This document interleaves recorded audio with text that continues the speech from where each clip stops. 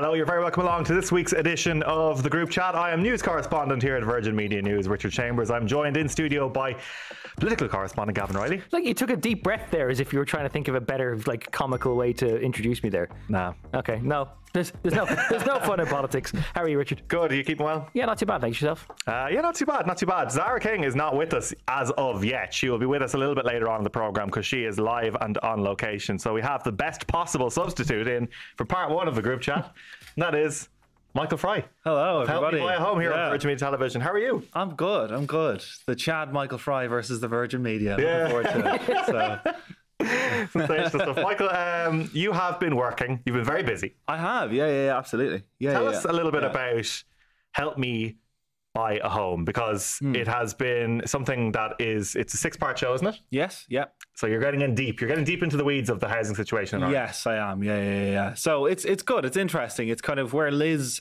helps people in a practical step by step kind of thing. I look at the issues surrounding the housing crisis. So people trying to get deposits together. I talked to Rory Hearne about solutions. I spoke to the Minister for Housing in week one. We talked to the Finnish Minister for Housing. I talked to people who've, you know, decided to not rent anymore. And there's a guy living in a boat, a woman living in her van. And then we talk about things like community led housing. Um, and uh, I think I, I get visited by a mortgage advisor at one point as well. So, um, yeah, a lot of different things, which is fun. I like how you sort of said mortgage advisor like it was one of your seance sketches that you got visited by Yeah, somebody. yeah, I was visited by These three people don't mortgage really advisors, exist. Somebody yeah. just came to you in a vision one night. Three ghosts appeared. as a board, I visited him actually. a minister. Yeah. Um, before the show was released, there was a little bit of backlash online. Uh, it was actually as the show was released. Yeah. So, uh, yeah, we um, the clip of me, the start of me meeting the housing minister was released online, and people took that to mean I was making the minister look good because it was the first clip they'd seen, and then decided not to watch any of the clip or any of the show, and decided that I basically had caused the housing crisis. So that was fun. Um, but I mean, people get emotional, and that's fine. You know what I mean? I, I, I understand that. I understand the kind of the, the trigger reaction to be like, because people are very frustrated or whatever. That's fine. I got a lot of criticism. I only got some abuse, Right. You know, which is, you know, look, it's it's not. That's kind of part of the job, unfortunately. But, um, yeah, um, but I think it kind of ended pretty quickly when people realised I was talking to Rory Hearne the, the the week after that, and it was a six part thing, and my five minute interview with the housing minister wasn't going to cause anything to happen really. So, um, yeah, unusual. I'm not used to it. Do you think know? it was prejudging, and, and did you think that there's anything which was quite legitimate in what people were saying in terms of the criticism rather than any of the abuse? It'd be obviously the abuse is beyond the pale, but Mm. in terms of any critiques or people, I think it showed a lot of the emotion that is wrapped up in this situation, which so many people of, of the generation are facing. Yeah, yeah. Look, it, it looks cozy. I understand that. I understand that uh, it looks like I don't challenge him. I do in the piece, but probably not as much as I could have done or should have done. And not everything I did or asked was included. So it's kind of like it is only a snapshot of a six hour day. You know, it's a five minute clip. Most radio segments are 10 minutes or whatever. So we weren't, we weren't going to get into the weeds of it. Um, but I think it's just another way to engage with the minister, as in it's outside of news programming. It's people who might necessarily know his name or his face, and that is the case. Mm. Unfortunately, the people aren't engaged anymore, or they don't, you know, whatever. They're they're not paying attention because things are so bad and have been for so long. So I guess it's another way of asking him questions, and mm. he's a guy who makes decisions. So why not ask him questions at every given opportunity? You know. So for people who didn't get to see the episode, which was the week before last uh, on Virgin Media One on Sunday nights, um, you followed him around for uh, two thirds of his day. So Yeah. you, were, you were in the back of the car with him, Yeah. asking him questions before he went out to go and visit a site. Did you at any point feel like it was being deliberately sculpted so that he was trying to put his best foot forward and look like it was a sales pitch rather than it being an honest kind of engagement? Well, I mean, that's what he's going to do. That's he's a politician. He answers questions. That's his job, and he's been asked every possible question. So he's a dab hand at this. He knows what he's doing. Um, I, d- I don't know. I I think there's obviously reasons he said yes to it. Um, but you know, I did my best to make sure I challenged him. You know. Do you believe what you were told? No. Uh, to be honest, I, I think I think look, I think he believes uh, that he is doing the right thing, uh, and he, that he is you know helping things or whatever. I don't think it's enough. I think it's very impressive to point at a huge housing estate that you've built that's a thousand houses, but when you think about the actual need.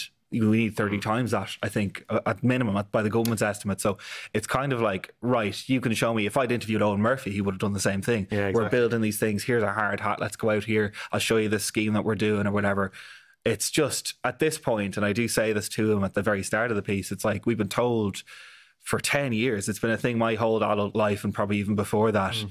that things are returning a corner. I can't wave a magic wand. You know, I can't fix things overnight, but, mm. you know, there's been a lot of overnight. So mm. what are you actually doing?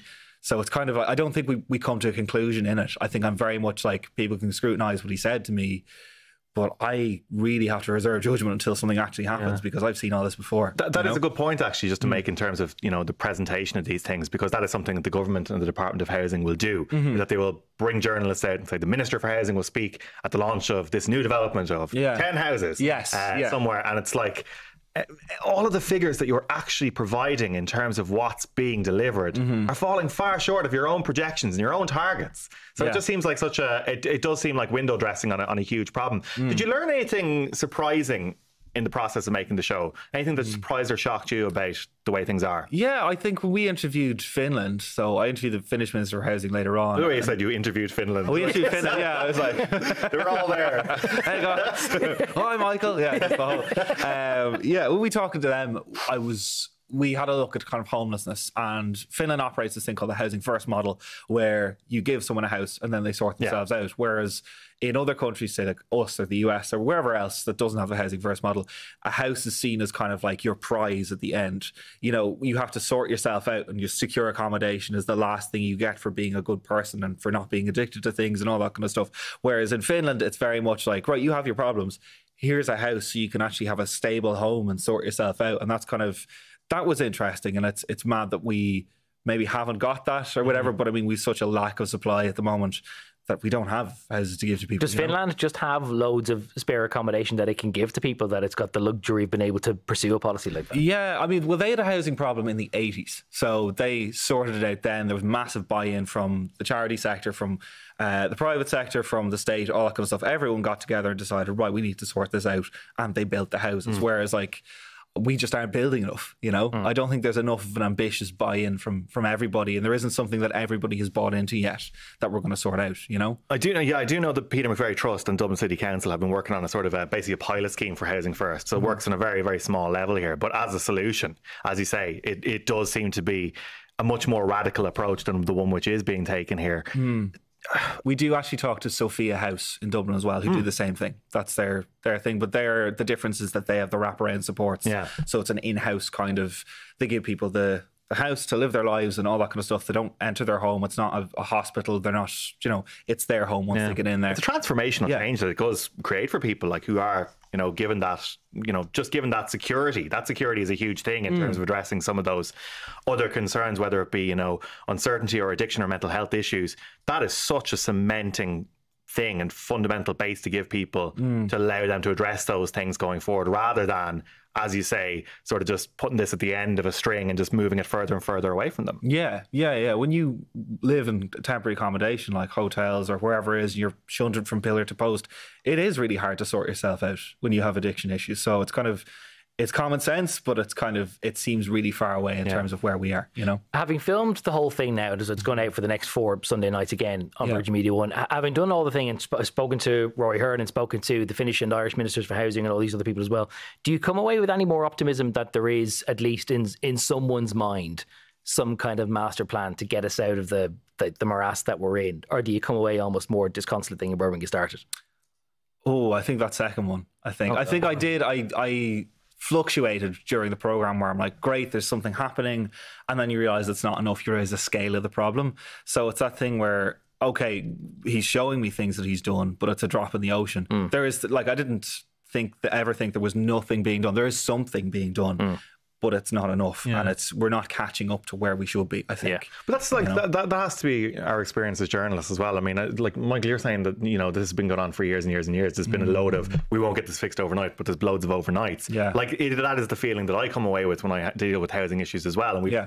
been accused of it sometimes on the on, on the group chat as well of being like you know you're too negative about this, that, and the other. Yeah. But like when you come across the scale of the personal problems that this leaves people and the the level of you know, hopelessness that is there amongst people Yeah. in the, their 20s, 30s, and even into their 40s about the housing situation. Well, how can you come away and think that anything is actually going to be done about it when we have been effectively having the same circular conversation about housing Yeah. for years and years and years before pandemic? You can't blame that. Yeah. Um, all this sort of stuff. So I do feel that is an, a very natural response to have when you're working on a show like that is just to be like, well, this is actually this is actually worse than I thought. Yeah, I mean, we only deal with a small part of this. We deal with people who are able to buy a house, you know, and we do touch on not being able to get a deposit together, but we don't touch on the really serious stuff like homelessness or whatever. This is a really small snapshot of the problem. But even then, when you talk about younger people and how loads of us, it's it's rare that people would live outside of the home, Yeah. and people are living at home until they get engaged, nearly, um, or they're you know they're having to move back. We have a um, a participant Emma later on, or in the first episode of the show who was outbid by an institutional investor and had to move all her stuff back to her parents' house. And that's the assumption that like, you have a good relationship with your parents and that you're able Yeah. to move home and they have Yeah. room for you and all that kind of stuff. And I just think the scale of the problem, I don't think if like if we counted our homelessness the same way as Finland does, uh, like they include people living at home with their parents as homeless or like not where they want to be. If we Yeah. did that, like the figures would be like three hundred thousand or something Yeah. like that. So remember, like talking know. Mm. to the Simon communities last week after the last homelessness figures were at 11,988, and they were actually positing the idea that maybe our official figure of homelessness has kind of flatlined because we've actually just run out of emergency accommodation. That there are about 12,000 beds in the country, and they're all full. So we actually literally have we don't have the means to count any more people who become homeless as and when they do. Mm. Um, just by the way, I think it's probably very easy in our line of work, Richard, to get very cynical about what what scale of progress there is on housing, Mm-hmm. because you and I have both been to plenty of photo ops with your Darragh O'Briens or with your Owen Murphys, and they're going to the turning of the sod of a relatively small number of homes, which will make a huge difference to the lives of the people who end up living there. Mm-hmm. But it's such a small amount, and not alone do they end up then celebrating such incremental progress as a big deal, but also it means you end up getting loads of B-roll of like you go looking for B-roll of Eoghan Murphy. It's B-roll of Eoghan Murphy walking around with a hard hat with a like a, a high vis vest, and it looks like he's always on sites going about getting stuff done. When in fact, actually a really good we, point. we know that Yeah. there isn't as much really being done at all. Because like if you set and you bring the media out to here's a load of new houses, anytime you're mentioned in the news from there on out, Mm. Yeah. it's you with loads of Yeah, lovely the, shiny the housing the housing minister Eoghan Murphy is under pressure this week after it emerged that blank blank blank. Here's some footage of Eoghan Murphy who's walking around a, a building site, so it looks like he's always getting stuff done when the metrics don't don't always prove that. That is, has been works. Michael, I wanted to ask you more broadly on politics because, like, so Hmm. many people in, in, in your generation slash our generation, I don't know what the age gap is exactly, but yeah, Yeah. I, I don't want to age myself too much, but like, generally You're speaking, closer to his age than I am. That's Put that good. way. At least, Yeah. at least that, Gav. But um, people are. Do you think people are fed up with politics? Because there is often that view which you hear expressed from the commentariat and from like people in politics that young people don't care about politics, Mm-hmm. or there is just a general. You know, I mean, Gav used words cynicism there as well. I mean, Yeah. what is your feeling on the state of politics and how it appeals to young people in this country, or fails young people in this country? Probably, I'd, I'd imagine. Is what yeah, I, I think I think we're we're ready for change. I think I think something's going to happen the next election, whether it's Sinn Féin get in or whatever else, uh, because I think we've seen successive governments ignore us in lots of ways. Like the whole way through my twenties, I definitely felt like the feeling was F- off home. Do you know what I mean? That's how I felt the whole time. Or you know, just go away, go away until you earn some money, and then come back, and then we'll treat you with some respect. Do you know that kind of thing? That's I think that's young people are really really frustrated or whatever, and I think a lot of the the the leap to Sinn Féin or other parties is because you know Fianna Fáil and Fine Gael do not care. Do you know? what I mean? And they haven't they haven't really shown that they care or that they're going to engage with us or anything like that. I mean, you I was it Bertie Ahern last week to Keir Phelan being like, "Oh, you're Yeah. a young person. Do you even Yeah. know when the when the election is?" It's just that disdain and contempt for anyone younger than you. Do you know? I think we we've a real disgust towards people under 35 in this country you know i think if there was a war we would send them all off that was a that'd be a thing that plenty of sections of the commentary would do that to us so it's kind of you know Uh, total gear change before we let you go. Yeah. How do you feel about being the unwitting face of the return of like drinks carriages on trains? Because it, Yeah. it is now impossible to illustrate any story about the return of onboard catering without pictures of you and your display Kit Kats yeah from season three of it feels good it's nice to have like a kind of a thing people will remember me for if if if nothing else i was the kit kat guy from from jerry girls it always is funny to see like you know just my face every so often Yeah. in the costume um beside the kit kats or whatever You got I to keep the costume as well. yeah well, no i didn't No? i didn't even get a kit kat out of it so i mean you know Even though they're display Kit Kats. Even though, yeah, yeah, yeah. So, I mean, I'm ready. If they want to do a sponsorship, I'm totally ready. You know what I mean? Like, Right. come on, like, Other chocolate brands are available. Yeah. yeah. But they may not be as good. But anyway, Michael Fry, Help Me Buy Home is a show. Sundays at 8 o'clock. Sundays at eight o'clock. Yeah, yeah. Thanks so much for coming in and having the Thanks for conversation. dropping Thank you for having me on, guys. Cheers. Well, we promised you Zara King, and she joins us live now from the West Clare capital of Doonbeg, the home of Munster football, given the success of the Clare football. I'm not sure if Donald Trump is aware of that, though, but uh, he's on his way, Zara, anyway. He's on his way. This is also Richard Chambers' country, for those who don't know that Richard originally hails from County Clare, and not quite Doonbeg, but uh, not too far from the parish. Out the yeah, way. he's on his way. I suppose, look, by the time people yeah, by the time people uh, listen to this and watch it, he will have arrived. But uh, at the time of recording this afternoon, he is due to land at Shannon at around quarter to six, and he's going to make his way out uh, here to Trump Doonbeg, which is where we're talking to you from. We're actually here in one of the uh, coastal cottages, chatting to you, myself and Conan, my cameraman, and uh, he's going to inspect his 400 acre property. So this has very much been described uh, as a business trip, one where he is coming to inspect, I suppose, his financial interests here in Ireland. It's also going to be a very short visit in a sense that he only arrives, as I say, at tea time this evening.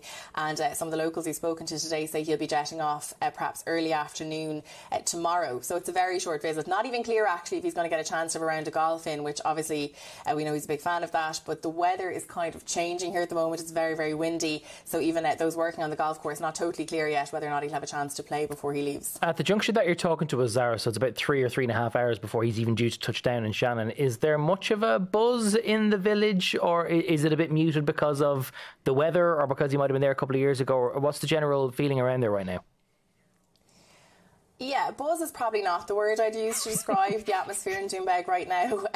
Um, look, I was here in Doonbeg when Donald Trump arrived when he was president uh, four years ago. I think it was actually May of 2019, if I'm not mistaken. So it was around the same time ish, uh, four years ago when he was here. And I remember uh, filing a report that day before he arrived. And I remember using a line in the script uh, that you would barely know a US president was about to arrive at that time, and that was four years ago. It's even quieter again today. Um, the streets of Doonbeg are empty. Uh, you speak to some of the locals. Rita McInerney, people will know Rita uh, owns the local shop. She's run a coffee shop here as well. She's spoken in the media many times. Uh, she sort of suggested today that maybe the media has scared the locals off the streets and they don't want to be maybe chatting to us as such. But I know, look, it's it's very quiet. It's a windy day here. In fairness, maybe people are, are staying indoors. But uh, chatting to Ah, Rita I'm not having that. I'm not having. Sorry, I'm not having. Wind, wind doesn't keep people in indoors in West Clare. They are out there, uh, standing on cliffs and, and getting battered around. But it is interesting that, do you- like, that that is what you're experiencing there, though. Yeah, no, it is. Like, it's mad quiet. Like, let's be honest, it's mad quiet. There's loads of guards around, very high security. Uh, I would say similar to the last time, more guards than punchers. Um, there's a couple of American flags. I would say, though, in the village, even the, the number of flags is sort of less than it would have been the last time. Even going over the bridge there in the village, um, I don't know about you, Conan, but I only spotted kind of one one US flag. The rest of the, the poles were actually kind of empty. So, but look, there's you know there's American flags in some of the houses. Look, people in Doonbeg. I would say they steer away from the conversation about politics, and every time you talk to them, they will say to you, Look, we don't want to get into the politics of it. They will describe Donald Trump without using his name. They'll call him the West Clare Hotelier. Um, they are incredibly grateful for the business that the Trump organisation brings here. Um, and, and they're very reluctant to be drawn on any conversation beyond that. Um, you know, you'll say to them, Look, did your opinion change of Donald Trump, particularly after, say, for example, the January 6th situation? And they'll sort of again deflect. They'll say, no, look, you know, we're really grateful for the, the business the organisation brings here. They'll also talk about the fact that really their relationship here in Doonbeg is much more uh, with Eric and Don than uh, the father. So I suppose that's something they'll point to as well. But look, in fairness to locals here in Doonbeg, I would say they've had quite a difficult time in terms of backlash from people for having that stance. Um, Tommy Tubridy was very open today when we spoke to him on camera. He said, look, the last time Donald Trump was here, they received really nasty phone calls and letters from people all over the country criticising them for not criticising Donald Trump. So, look, they recognise people's frustrations, but they would also argue that uh, with a town or an area, a village of 800 to 1,000 people, a population, and 300 of those are employed at this resort, they'll say you'll understand uh, why they will give a warm welcome to somebody who's offering that many jobs and that kind of business. Yeah, I think um, I think that's understandable. Um, I mean, the the building and the framework around the lodge in Doonbeg existed before Donald Trump was there, Uh, obviously, he, he picked it up, he bought it. it um, I think it was in the Irish Times. They reported that it's booked losses of 16.7 million yeah. quid since he bought it in 2014. Never booked Yeah. an after tax profit. But clearly, there is still a thing of, well, look, it's jobs in an area that depends on tourism. Um, has there anybody, in, in terms of tourism, has anybody travelled down from elsewhere in the country or anywhere around the world to try and get a glimpse of the man? One guy has, yeah, we've spotted one guy as in the village, the streets are empty. I know that sounds like, no, genuinely, genuinely, one, guy. one chap has actually travelled down. Uh, David Grange is a truck driver from Dublin and uh, he's come down, he's got a massive Trump flag and a, and a big US flag and he is uh, really excited about the possibility of meeting who he would describe as his hero. He says he loves Donald Trump, uh, he says he supported him for many, many years and, um, you know, he's giddy with excitement at the possibility of meeting him. He's, he's basing himself in the village and he is definitely uh, potentially a one-man band in terms of that welcome. But look, it's still early in the day. You never know. There could be more people who are, are en route at the moment. But um, again, David is not deterred by any of the uh, allegations and accusations against Donald Trump. He um, is a big fan of his and he thinks that uh, he admires the way he goes about his business. Of course, uh, Richard has met many people like David uh, during his time in the States and the work that he's done on his own Trump documentary. Richard, you might maybe give us an insight into the mindset of some of these supporters. They love him. A lot of them think he's literally heaven sent, that he is some sort of divine uh, creation who has been sent to deliver, well, America really, not not, not anywhere else, you know, from the clutches of evildoers and, and, and liberalism and whatnot. So, yeah, there is that sort of devotion to a figure which you don't get with any other politician. And it's actually interesting because I think there's actually a poll from Fox News, which I have here in front of me. And despite the fact that there was such a there was such a, a mood, even when we were covering the the midterm elections, that the Trump phenomenon was over, that he was a busted flush, that the Democrats had done much better than expected. He has bounced back. Uh, to what looks fairly unassailable unless something mad happens at lead in terms of the Republican field for the nomination. Uh, he's used to, uh, in February he was at 43%. Now he's at 53%. His main challenger Ron DeSantis going from 28% down to 21%. And there's a whole host of absolute also rans and losers who will come won't come within an ass's roar of Donald Trump. There is So- one little caveat to that, though, that Ron DeSantis hasn't actually announced that he's a candidate yet. So there's always going to be this kind of slight Oh, fallacy of, of Trump actively pursuing a campaign while DeSantis is kind of softly campaigning and putting out a book, but hasn't actually kind of announced that he's going yet. Um, on the topic of um, the actual visit itself and whether David Granger is going to get a chance to meet um, Trump. Last time that you were there, Zara, I specifically remember you being on a, a scouting mission to see would um, the president, then president, leave the, the, the confines of the hotel and go down anywhere else. I seem to remember you ending up in, in a pub watching Don and Eric race some pint glasses and, and buy around for everyone that was there. That was as close as anyone got. Is there any Yeah. any sign of even anyone in his kind of entourage doing anything like that, or is this a very much a low profile? He's just there to check on the premises and then he's gone again. Yeah, I would say no. There's no indication that Donald Trump's going to go down to the village. If that's what you're asking me, no, that's not. And he's never, he never has done. Apparently, he's never been to the village for a walkabout as such. Uh, like I say, um, Eric and Don, Eric is with him this time. Um, are regulars in the village. You know, Tommy Tubridy says that Eric would often pop in uh, for a pint. I think the last time Eric was here was last August. Sorry, they don't drink. They don't pop in for a pint, but they pop in for a chat and a, and a mineral or whatever. um, they were here last August. Um, they have invited a group of locals to meet Donald Trump here at the resort this evening. That meeting is happening at seven o'clock. Uh, these are members of the local coastal erosion acti- activation group. They uh, want Donald Trump to support them in protecting the coast here from erosion. So uh, they're coming with a mission, I suppose, and a local mission to have a conversation with him about that. There's about 10 members of that group. So, as I say, uh, we spoke to some of those members, Tommy and Rita. Um, Liam Ryan is the PRO for that group as well. So they're definitely coming to, to the meeting here this evening with a very focused. Um, you know, uh, campaign at their own end. Now, I did say to Liam Ryan, as say the PRO, I said, Liam, you know, you're in a very unique position in that not a lot of people do get face to face time with the former president, with Donald Trump. You do have an opportunity to maybe put a couple of things to him or maybe you know, ask him some questions that people would love to ask him. Would you take that opportunity in that moment? And he said, really, uh, no, they have uh, they have a straight agenda when it comes to coastal erosion, and they'll be using any minute or any time they have with him to talk about that. So, look, it goes back to what I said to you earlier on. Like, I don't feel like the people of Doonbeg want to take on a kind of an international battle with Donald Trump. They are very much staying focused to the fact that this is a local business venture and they support him for that. I would say privately, without uh, outwardly discussing it, they would uh, certainly have their own reservations and concerns, but they're certainly not going to say those to the media and they're not going to say them on camera. Just in relation to whether or not he's actually going to give any interviews, it's my understanding that he's not going to give any interviews here in Doonbeg this evening. Obviously, we'd love to get a, a moment to chat to him.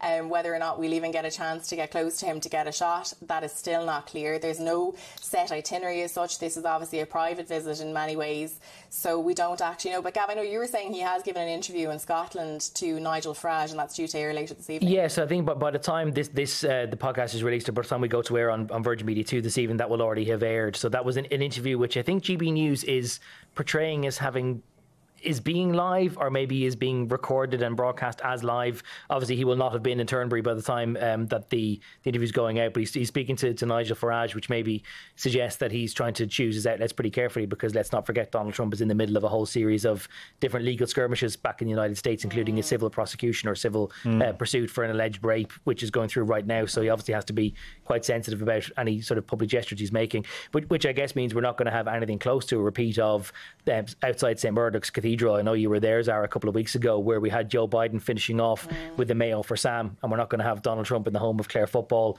announcing and banner banner for Sam or, or banner for Munster Senior Football Championship at the very least, anyway. Much to, to Richard's permanent chagrin. Well, yeah, it's disappointing we won't get that at least. But I mean, you, you mentioned there, Gavan, it is worth us bringing it uh, to the attention the fact that this isn't the biggest thing happening in Donald Trump's world at the moment. Uh, he is uh, being, or his case is being heard in a Manhattan federal court for rape. A writer, uh, E. Jean Carroll, alleges Donald Trump assaulted her in a Manhattan department store in the mid 1990s. Now, he's consistently denied this, calling it fiction. Um, there has been a rejection of his request to have it heard as a mistrial. Uh, but two other women also testified that Miss Carroll told them about the incident in 1996, while another woman uh, by the name of Jessica Leeds said she was assaulted on a plane by Donald Trump in the 1970s. So this is just one of a number of legal question marks, which is going to follow and dog Donald Trump all the way through. The only thing you could say about it, though, is that um, as you will, Zara will hear from from David Grange, the truck driver who's come all the way down from Dublin to have a look at the man. Uh, that will not change mm. any of his supporters' view on him. It is yeah. not something that will shift. Um, any needle in terms of the people who are devoted to and want to see Donald Trump become the president again. They're not going to be deterred by any of this. And that is something which, again, is just unlike any other political figure that we have anywhere else in the Western world, at least, I would say. I don't think we have the same level of devotion or religious fervor that follows any other person like this. So, um, Zara, I mean, you say that there's no real buzz or atmosphere there around the Trump yeah. return. Is there any chance? Of that changing? I mean, is there anything he could do to move that needle? Could he invest? In, you know, is there any chance of investing more money into Doonbeg? Is there any chance of him saying, "Well, look, I'm going to help you with that mm. seawall against that coastal erosion"? He's going to build that wall after all. Well. Yeah, yeah, he, he, may build that wall in Doonbeg. I mean, there's already kind of talks afoot about building a conference centre and building a leisure centre, I think, as well, and a ballroom and all this kind of stuff as well. And I think a lot of the locals are certainly keen that he would do something like that so that the trade here wouldn't be so seasonal, that it would be kind of more all year round.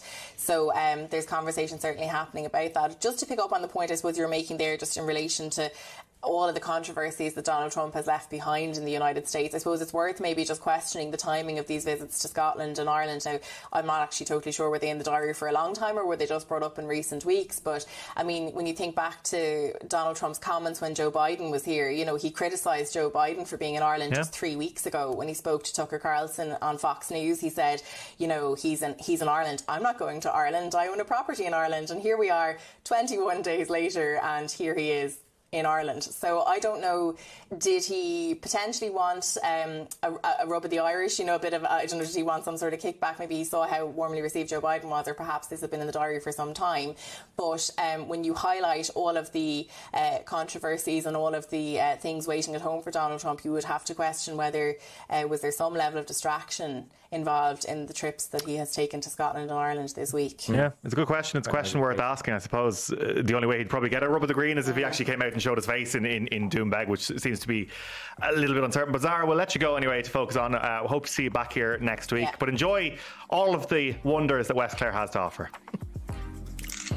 Thanks, guys. Talk to you later. See you later.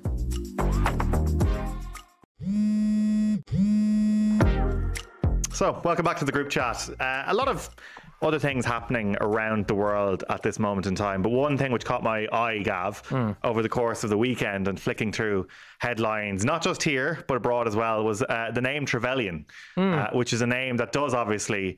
Uh, raise hackles here. If anybody has ever sung along to the fields of Athenry, Yeah. you'll be very familiar with Stoll Trevelyan's corn. The young might see the morn.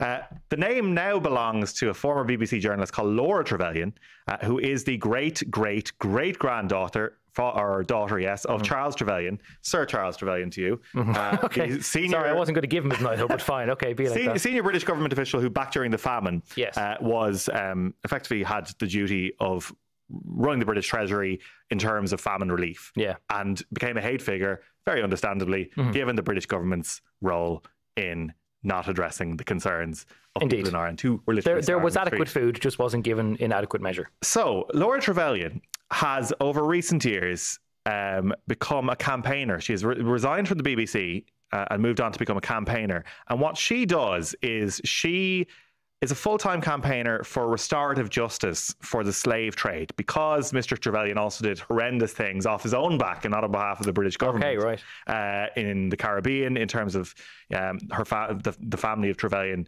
owned hundreds and hundreds and hundreds of enslaved people uh, in uh, Grenada, for, for example. Hmm. So the whole point is she's been putting forward some of the family's money towards paying off some of that debt. And it's always become a thing since this ever started.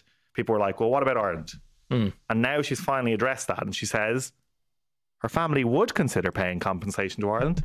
Uh, but maybe it's more of a question for the British government. But that was going to be my first gut response Hmm. because th- there's a difference between what somebody does in a personal capacity, which, as you've outlined, Charles Trevelyan having personal, you know, interest in slave ownership, and then what you do in your kind of official capacity as a result of your job. I mean, it was the first question, and maybe it applies to both, is where would you start? Like, it, it's so difficult at generations of remove, 150 years plus. Even when you're talking about the personal, the, the family's uh, ownership of slaves how feasible even even is it on that front to go down through the generations and find the people who are the just recipients of any reparations that you might give? Like that, that can't be easy in its own right. Yeah, no, it certainly can't. So that's why I think a lot of the ideas of restorative justice and reparations, as it becomes known in the United States when it's talked about, it focuses more on what you could do in terms of, so say, for example, we mentioned Grenada you'd pay it towards the Grenada government and see what Okay. they do there. If you're looking, So you give it to a whole community and not just to the direct people. yeah, I mean, Okay. it's a very hard thing to work out. Yeah. This is all. It's actually a very new concept, and it is interesting. The more and more people are talking about it, including uh, we'll come around to him, uh, one King Charles of the United Kingdom.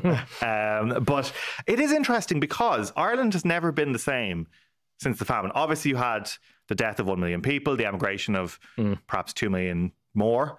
Uh, the population of Ireland never recovered. No, still still not at the level that it was in the 1840s. No, so there has been obviously an ongoing economic impact of it. Also, if you're looking at the point of, well, who exactly would pay this? Would the British government pay this? Well, famously enough, Tony Blair, when he was Prime Minister of the United Kingdom, gave a statement which was effectively considered an apology for the famine. So, is that not an admission of responsibility hmm. in terms of the British government's handling of it? He said that those who governed in London at the time failed their people through standing by while a crop failure turned into a massive human tragedy. So, that was hailed as an apology at the time. Is there? I don't. Well, I couldn't see a Tory government. I, I, I couldn't see any government doing it for the plain reason that although this is obviously a very contested idea Uh, on this island, or at least in this part of the island, you have to remember that any government that was in situ in Britain in the 1840s and 50s considered this island to be just as much a part of its country as anywhere else. Yeah. And they would find it very difficult then to think, well, why would you consider reparations or anything restorative for Ireland when one could make the same parallel argument for, well, the people of Wales were let down in the pursuit of policy X, or the people of Scotland were let down in the pursuit of policy Y, or the people of Cornwall or Devon or, or Manchester or Newcastle or any individual place. If they consider to be Ireland as an inseparable, insoluble part of the UK, which they did, it's very difficult then to say in hindsight, well, because mo- most of the island is now independent, that we should consider doing something back or offsetting the mistakes of the past. That's the, the first point. And then B, at what point do you do you say, tough as it is to sort of get your head around 180 years following on, to go, well, that's just the consequence of political mismanagement and that policies fail all the time. We were talking to Michael in part one mm. about the consequence of, of policies failing.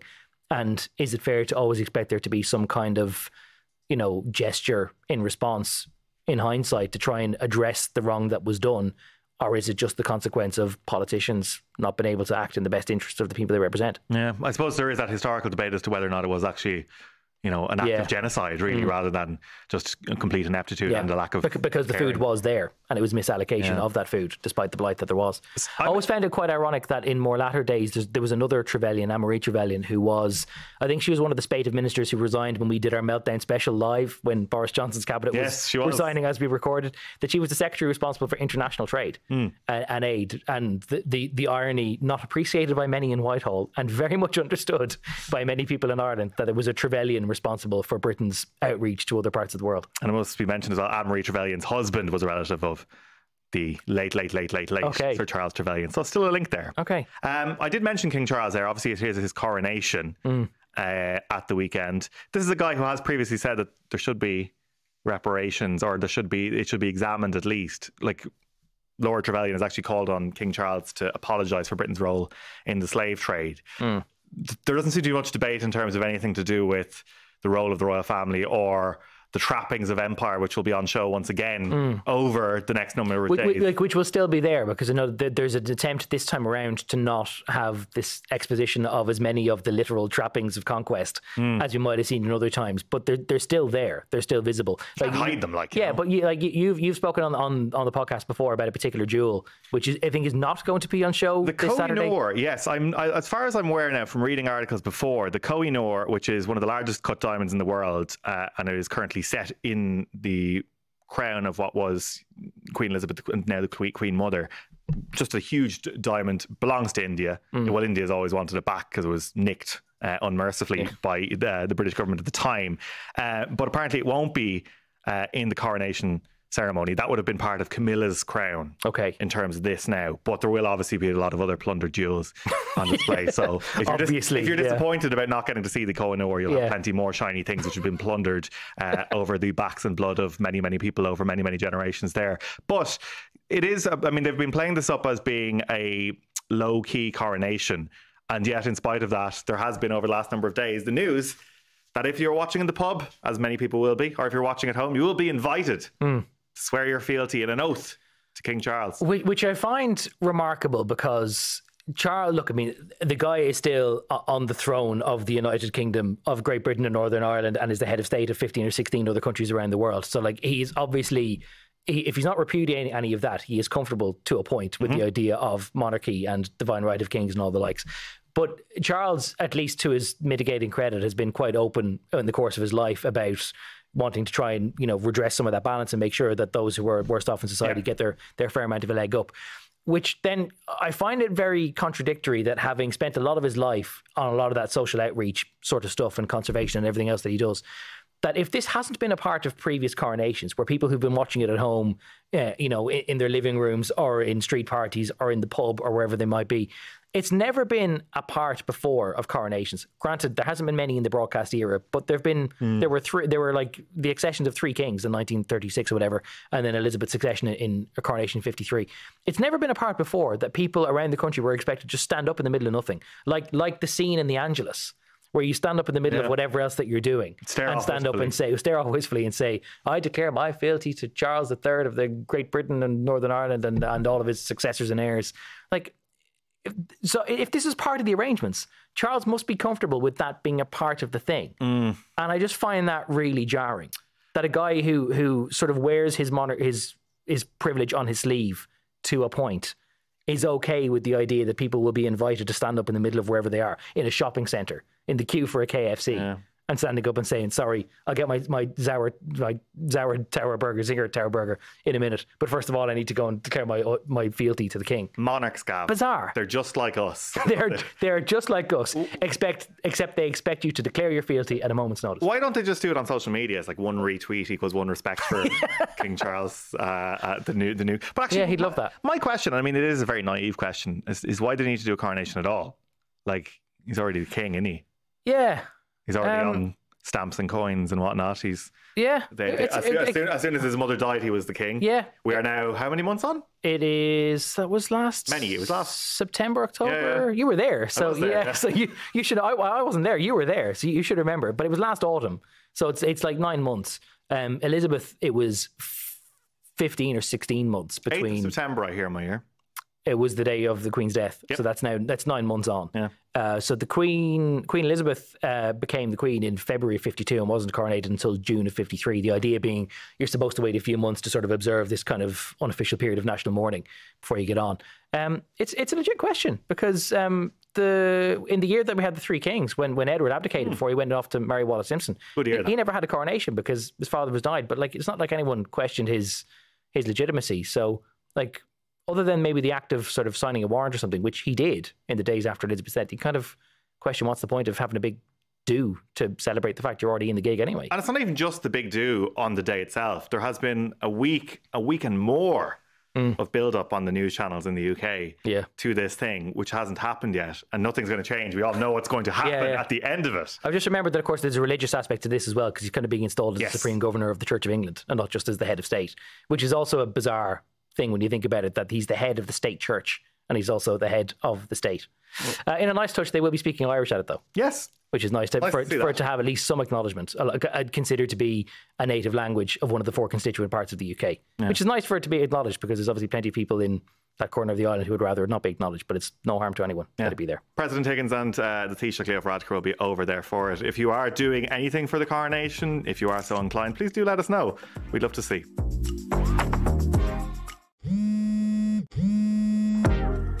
So we talked, Lockav, about, well, Succession in particular, but television Yeah. over the last while, and mm. film as well.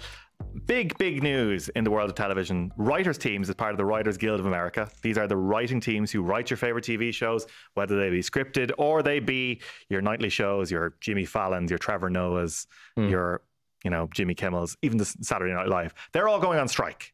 Mm. And this is big news because it's automatically taken a lot of those no- late night talk shows already off the air. Uh, Saturday Night Live will not be on this weekend um, as a result of this. realised Yeah, big, big, big news. But also, this could have a knock on effect for the big shows that people do watch here. I remember the last time because there was one. 2007. Is it that? Is it that long ago? Yeah. Sixteen years ago.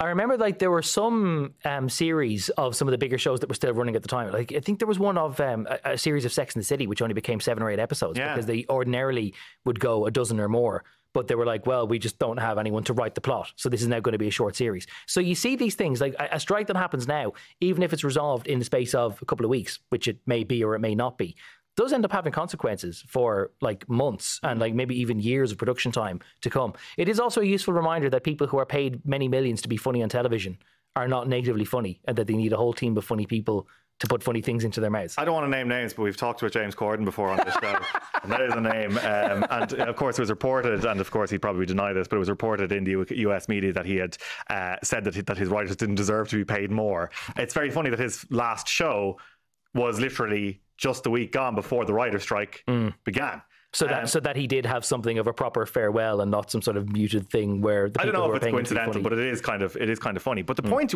which is worth making is that we're in a golden age of television. That's what we all understand it to be. We're Yeah. seeing films being outstripped in terms of dramatic quality by television. The golden era could be coming to an end as a result of this, because you mentioned what happened in the last TV writer strike. I remember anybody who's uh, watched Friday Night Lights. Uh, they basically did a whole season where they just plowed on without the writers, and it became a full soap opera. Uh, the worst Bond movie of recent years, Quantum of Solace, was literally was that produced during that time? Yes, it was, Okay. and it's why everybody hates it. Because the only people who are allowed to change the script on the day, which is often what happens in films, were Daniel Craig, who admits, I'm not a writer, it was horrible, Hmm. and the director. So it was a complete S show all the way through. Breaking Bad also lost a couple of episodes from its first season as a result of this. Okay. Um, so there's going to be a huge change to shows that people know and love. One thing that which is remarkable is that part of the motivation for the Writers Guild going on strike is their concern that a lot of the jobs could be outsourced to the emergence of AI tools, the likes of ChatGPT, mm. and that you could ask uh, the likes of a ChatGPT, were it better equipped on the issues of the day to write a topical gag about stuff that's been in the news and not need a whole team of writers throwing punchlines at each other all day to figure out what sticks and what doesn't.